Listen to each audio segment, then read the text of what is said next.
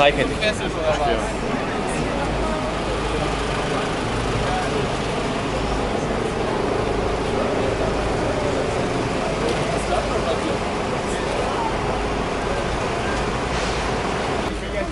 Was ist denn das für ein Quatsch hier? Das ist eine, eine Forderung zu einer Freiheit. Ja? Sagen Sie, Wer fängt denn hier an? Sie Ihrem hier? Einsatzleiter. Ich stand hier nur auf dem Bürgersteig. Sie berauben mich meiner Freiheit mit einem Kessel. Merken Sie das nicht? Ich will jetzt hier raus. Ja. Eben. Ich möchte jetzt in fünf Minuten hier raus, sonst erstatte ich Strafanzeige wegen Freiheitsberaubung. Ja, genau. Fünf Minuten. Erste, erste, erste Antwort.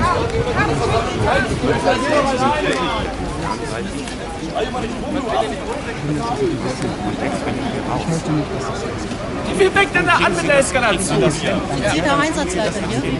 Würden Sie den da bitte behandeln? Ich würde hier ganz gerne jetzt mal rausgehen wollen. Und Ihre Kollegen lassen mich. Ich entscheide selber, wo ich gehe, wo ich stehe und wann ich bin. Ist das klar? Genau. Sehen Sie ja, Sie bleiben. Ja. Und dann möchte ich jetzt auf der Stelle den Einsatzleiter nehmen. Das war super. Ja? In der Ruhe. Dann gehen Sie doch einfach. Dann ist Sie, Sie automatisch möchten, wieder ist, ruhig. ja, so kommen wir nicht weiter. Wir können uns ja auch anschauen. Thank you.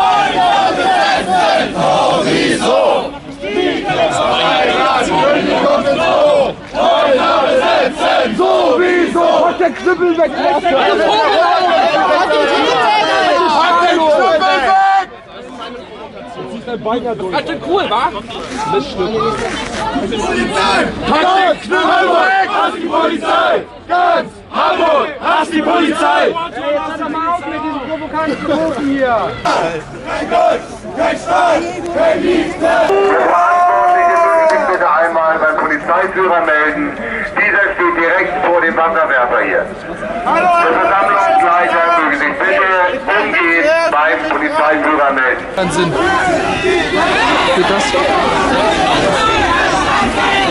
Der Polizeiführer hat die Auflage erteilt, dass Ihre Versammlung etwa 100 Meter weiter Richtung Stadt einwärts an der Kreuzung Horner Landstraße, Horner Brückenstraße auf dem Gehweg abzuhalten ist. Ich wiederhole, Sie haben die Auflage erhalten, Ihre Versammlung Horner Landstraße, Horner Brückenstraße auf dem Gehweg abzuhalten.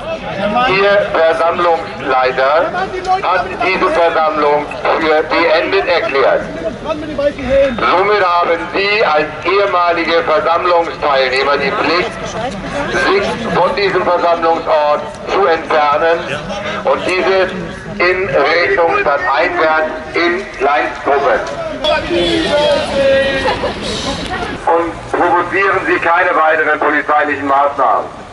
Wer bist du eigentlich? Komm mal raus da! Das Versammlungsrecht hat nicht nur Rechte, sondern auch Pflichten. Und diese Pflicht besteht darin, sich als ehemaliger Versammlungsteilnehmer zu entfernen. Ich bin kein Teilnehmer, ich stehe hier als Einzelperson! Ist die Uhrzeit, es ist jetzt Ich auch! 17.28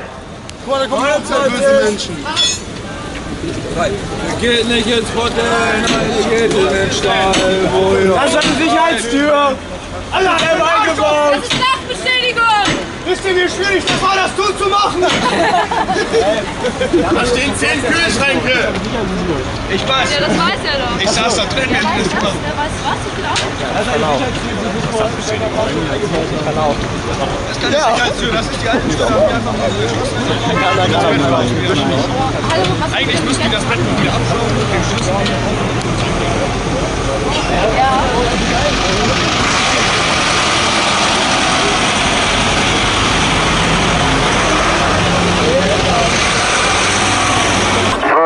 Achtung, Achtung, hier spricht erneut Ihre Hamburger Polizei.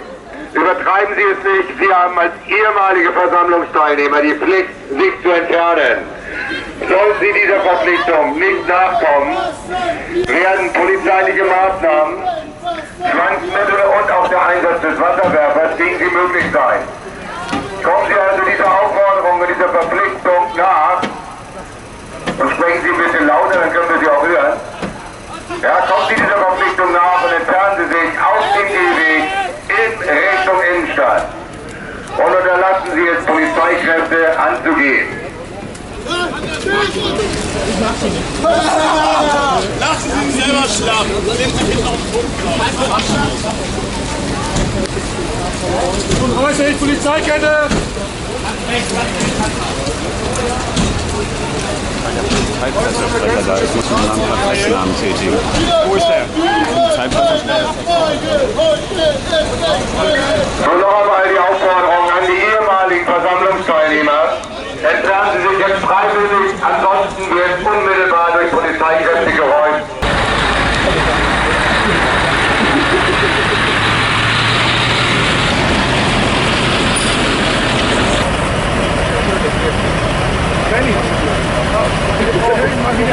Die am Karten raus, die abgeschnitten. Herr Born möchte auch was sehen. Wollen wir mal den Video weiter.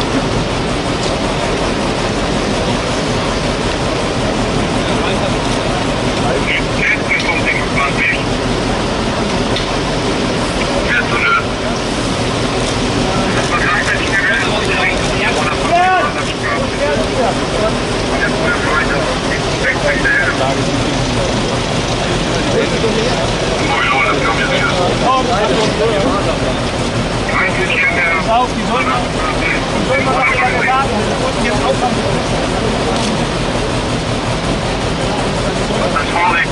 Schön jetzt mal auf. Artikel 8 besagt, dass jeder Deutsche sich unter freiem Himmel versammeln darf, ohne vorher irgendeine Bestätigung, Genehmigung oder irgendwo beantragen muss. Bitte heißt das. Wird hier die Presse auch nicht mehr durchgelassen? Nein, wird auch nicht durchgelassen, nein. Wie, wie kann das sein? Ja, ähm, halten sich nicht an ihre Vorschriften eventuell. Ja, aber die Presse muss doch in Deutschland durchgelassen muss werden, ja oder? Auch. Wurde ich auch dort hinten, aber die Herren scheinen sich wohl mit dem äh, Gesetz nicht richtig auszukennen.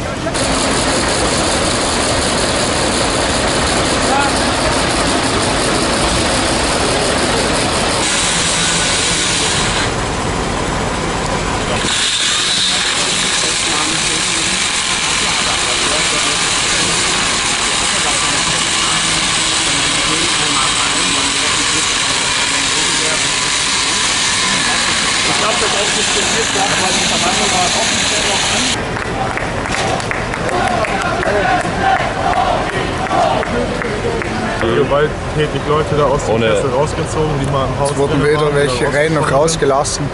direkt rein. Unbeteiligte eingesperrt, keine Menschen mehr über die Straße gelassen, die Straße abgesperrt. Die Polizei ist auch nicht auf unsere Forderung eingegangen, dass äh, sie wollten ein deeskalierendes äh, Verhalten generieren. Jedoch sind sie mit ihrer ähm, Polizeikette ganz schön aggressiv vorgegangen und wir haben halt die Bedingungen gestellt als ähm, ähm, Anmelder der äh, Kundgebung, der, der Demonstration, Der spontan, also dass auf jeden Fall da Entspannung stattfinden soll. Das wurde auch von der Polizei gesagt, dass äh, eigentlich alles entspannt ablaufen soll. Jedoch äh, haben die auf jeden Fall mit der Provokation angefangen. wir sind Freiheitskämpfer, Häuser zu besetzen, ähm, öffentliche Plätze zu besetzen. Demonstrieren gegen den Miet Mietenwahnsinn. Einfach den Menschen wieder das zurückzuholen, was ihnen eigentlich schon längst gehört. Ähm, wieder leerstehende Häuser, es ist ein Verbrechen, eine Villa irgendwie 10, 15 Jahre lang leer stehen zu lassen ähm, und sie einfach nicht zu nutzen, obwohl sie im staatlichen Besitz ist, ähm, durch die Sage GBG. Es geht darum, einfach wieder einen Freiraum für politische Bildung zu erkämpfen, Freiraum für Menschen, aktiv am System zu arbeiten und es auch zu verändern. Da kommt die nächste! das auch im Vordergrund zu rücken. Ich brauche nicht gewalttätig sein. Und genau das aber auch für die Polizisten, also grundsätzlich für jedermann zu sagen, ich bin verantwortlich für mein Handeln. Die Demonstration Ja, wurde dann irgendwann von, von mir aufgelöst, da, ähm, da die Provokation einfach von der Polizei zu hoch war und ich das für die Sicherheit der Menschen äh, nicht verantworten konnte, dass dort äh, weitere ähm, ja, Verletzte aufkommen. Es wurden auch schon äh, offiziell fünf Leute verletzt bei diesem Einpreschen in die, in die Menge. Wie viele Leute sind jetzt raus? Bis jetzt sind zwei raus. Ich höre jetzt gerade drüben wird noch viel gerufen, aber ihr habt die Versammlung ja aufgelöst. Es stehen noch welche drüben jetzt, oder? Ja, noch. Ähm, es, es ist ja so, die Versammlung wird aufgelöst, aber Mhm. es, es bleibt jedem ja offen, ob er sich irgendwo aufhält. Die Polizei hat uns äh, massiv dazu gedrängt, äh, den Platz hier zu verlassen. Ich finde es eigentlich nur erschreckend, wie Artikel 8 Grundgesetz außer Kraft gesetzt wird.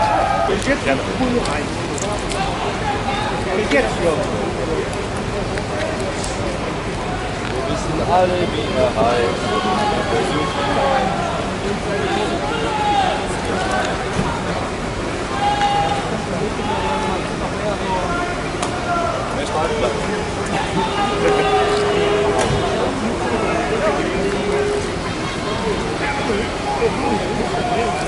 Vorsicht, das Schild ist gefährlich! Nimm das mit! Einfach mal unser Grundgesetz lesen und die einzelnen Gesetze mal befolgen, die da drin vereinbart werden. Aber anscheinend wohl Artikel 8 nicht oder vergessen oder. Äh,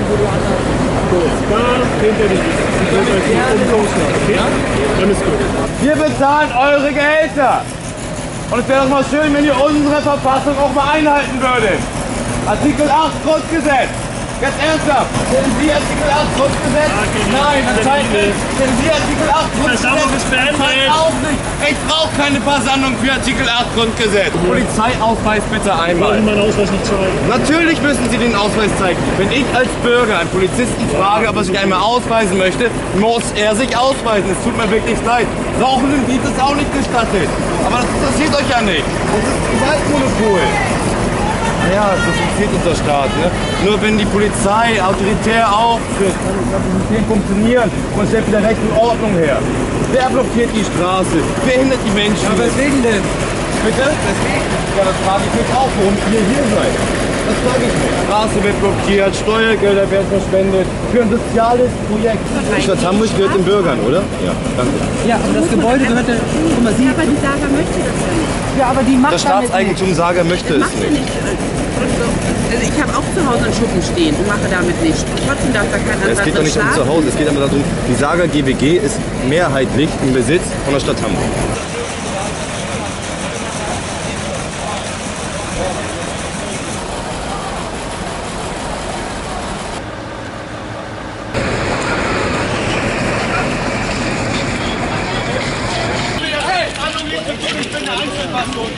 Fass mich nicht an.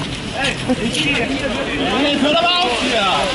Die Grundlage würde ich gerne mal wissen. Die Grundlage würde ich gerne mal wissen, warum das hier passiert. Links ausweichen. Warum passiert das hier?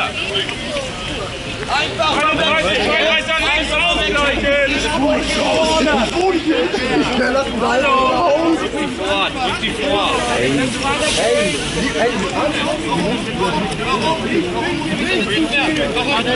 Hallo, nicht, nicht schlagen oder sowas. Das ist einfach ein Fußweg und ich möchte in die Richtung.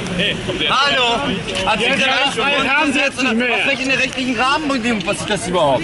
Warum passiert das hier? Hallo, immer noch nicht schubsen. Warum schubsen Sie mich? Immer noch nicht anfassen. Erklären Sie sich doch einmal. Auf welcher rechtlichen Grundlage denn? Hände runter! Auf welcher rechtlichen Grundlage? Das will ich gerne mal wissen. Warum passiert das alles gerade? Das steht über dem Grundgesetz. Das steht über dem Grundgesetz.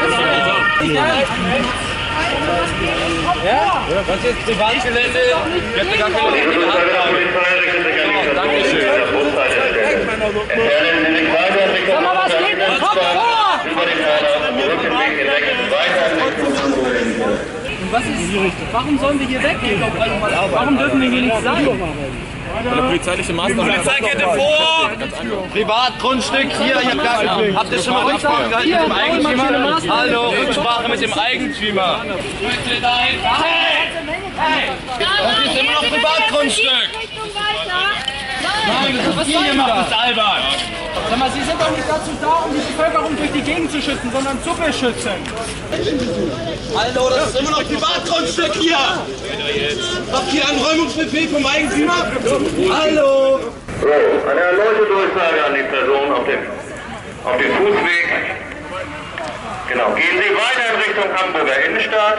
Ansonsten wird die Polizei Zwangsmittel gegen Sie einsetzen. Die Polizei geht, geleitet Sie weiter in Richtung Innenstadt.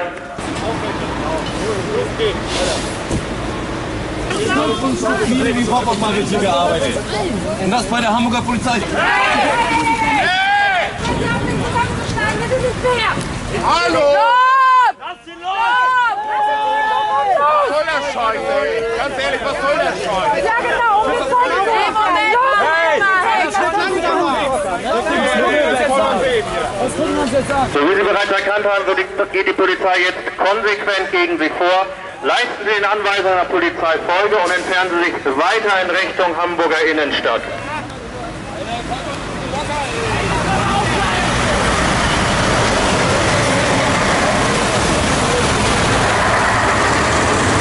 Wir haben grün.